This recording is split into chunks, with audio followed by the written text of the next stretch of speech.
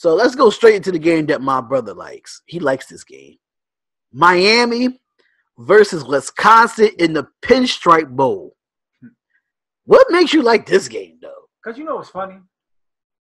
What have Wisconsin really played Miami? Two different styles of play.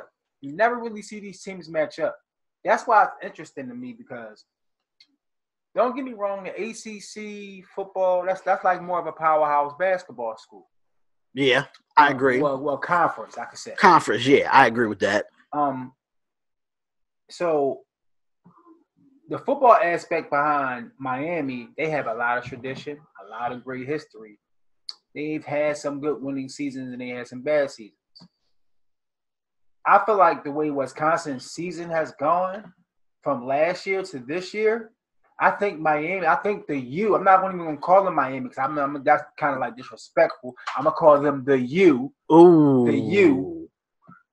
Um, because if they could keep their defense, well, I put it like this: if they could put, if they could keep Wisconsin at least at least 17 to 21 points, they can win this game. 17 to 21 points. If Miami can hold them at least to at least to 17 to 21 points, Miami can win this game. At mm. least that. At least that. Mm. Now, on the other flip side, Wisconsin, I've always liked their defense because they slow fast teams down. But Wisconsin, I love Jonathan Taylor, yo. That kid is going to be a problem. But he, but he's been struggling at the end of the season with the fumble. He got to chill off. Yeah, yeah, yeah. Now, if he can hold on to the ball and not fumble, I don't see Miami winning this game at all. But just off to the strength of the U, and I love their colors. Sorry, Wisconsin. Y'all just don't do nothing for me. I like Jonathan Taylor. I like their team. But I gotta go with the U. Mm. I have to completely disagree. I think Miami lost their swagger from last year. Every time they got a pick, they used to wear their U chain. What happened to that this year? What happened to that swagger that we thought the U had? The chain ain't gonna come out this game. Watch. The chain ain't gonna come out. It's gonna come out at least twice. Watch. You think it's gonna come out at least twice? And the shoulder pads gonna come on. Uh, I don't know about that. I think Jonathan Taylor has a breakout game in this game here. He's not going to have no more than 80 rushing yards. I I I completely disagree with that. I completely disagree. I think we'll have at least 125. I'll say at least 125 and a touchdown. I give him but, a touchdown, but he ain't, he ain't getting over 100 yards. I think he will. I think it's going to be the aspect of turnovers for these defenses because even the swag on offense for Miami, like just think about it. Like they just have not been that U team that we thought that could have been in the college playoff last year. You know, so they could have been in the college playoff last year. I understand you lost a lot of players to the league, to the NFL, but I think Florida in general, the state of Florida, is losing out on their best recruits to the SEC.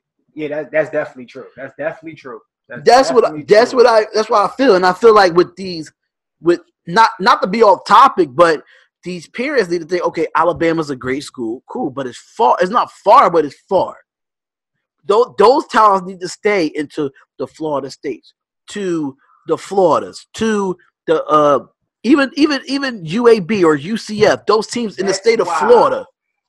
The early 2000s and the years before that, Miami was so good because they would recruit inner city kids. Exactly. And they were always dominant. So you still have kids that go to Florida State, Florida, you know I'm saying different things, different schools like that. But at the end of the day, they still always recruited. They see Florida used to always Miami used to always win their state and recruit between it was between Florida State, Florida, and Miami. Whoever won that state out of them three, out of them three schools, had the best class in that state. Had the best class, or had, or just had the best class for all them schools, but you just won for bragging rights yeah. for that for that state. And then people would back then people would depend on whoever wins out of those games, that's the school they're going to. Exactly. It's not like that anymore. But at the end of the day, I do like Wisconsin in this game. I think Wisconsin, um, I think this is a very even matchup. Very even. Both running games are good. Both defenses are okay. They're not stellar, but they're okay. Yeah. I feel like that with um with this game here,